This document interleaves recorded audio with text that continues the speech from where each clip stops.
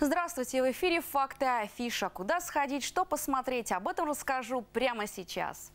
Этот коллектив признан жемчужиной мировой культуры. Визитной карточка не только Кубани, но и всей России. Кубанский казачий хор готовит традиционные рождественские концерты. Я не думал ни о чем,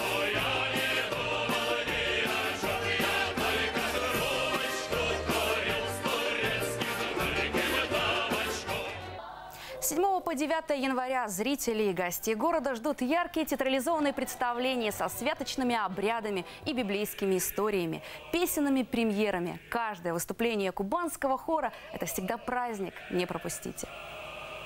Новый год уже близко, и самое время подумать, куда сходить всей семьей и порадовать своих близких. Спектакль «Лига зимних волшебников» пройдет в Краснодаре. По сюжету ледяная колдунья Фриза заморозила и разбила волшебные часы времени. И теперь для спасения Нового года на помощь Деду Морозу приходят его коллеги – зимние волшебники из разных стран и уголков мира. Его часто называют феноменом интернета. Первая слава и популярность к певцу пришла благодаря сети, куда молодой человек выкладывал собственные записи. Талантливый, харизматичный Ярослав Сумишевский приедет с концертом в Краснодар.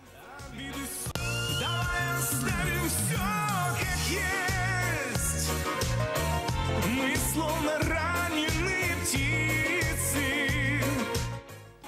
Ярослав обладает неповторимой манерой исполнения. Его голос сложно спутать с другими исполнителями. А сценическое обаяние делает каждое выступление артиста незабываемым. Умеет не только прекрасно петь, но играть на баяне. Артист с каждым годом собирает все большую армию поклонников. Выступления этого коллектива ждут с нетерпением в любом городе России. Их представления всегда искрометны и наполнены позитивом, добром, юмором. В краевую столицу приедут уральские пельмени с программой «Предюбилейный тур».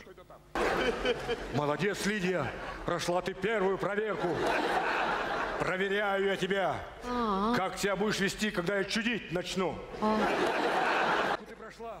Всенародно любимый уральским пельменям исполняется 25 лет. Эту дату коллектив решил отпраздновать со своим любимым зрителем. На концерте вас ждет все самое лучшее из творческого репертуара коллектива. Так что не пропустите и получите мощнейший заряд позитива. Поэтесса, кинорежиссер, победитель нескольких российских поэтических конкурсов, автор семи книг. Соломонова посетит Краснодар и Сочи с концертами. Автор выступит с программой «Чувствую рядом бабы». С каждым годом все легче, все проще, все ближе к. Словно плата за юность, за свежесть в угоду тыла. И однажды приду и пойму, что уже остыла. Концерты поэтессы сотканы из лирики, сарказмов и элегий поэтессы.